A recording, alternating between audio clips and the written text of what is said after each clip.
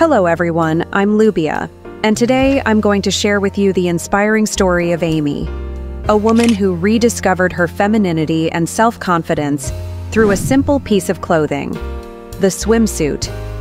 Get ready to be transported into a world where style and self acceptance collide. Amy was a mature woman who had lost her zest for life. After going through difficult trials, she had gradually withdrawn into herself, neglecting her appearance and well being. Until one sunny afternoon, she decided to brave her fears and slip into a swimsuit.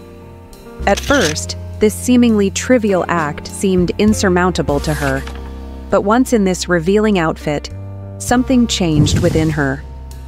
Suddenly, she felt lighter, more feminine, as if she had rediscovered a part of herself that she had lost long ago. Galvanized by this newfound confidence, Amy began to explore the world of fashion with renewed enthusiasm. She dared bold cuts, vibrant colors, and striking prints. Each new outfit became a blank canvas on which she could express her unique personality.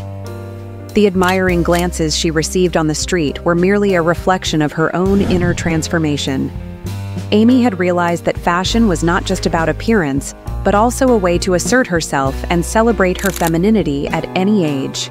Subscribe now. Today, Amy is a fulfilled woman who radiates confidence.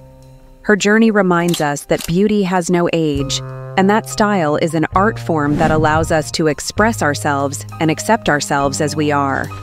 So, don't be afraid to reinvent yourself, to dare bold looks, and to celebrate your femininity at every moment.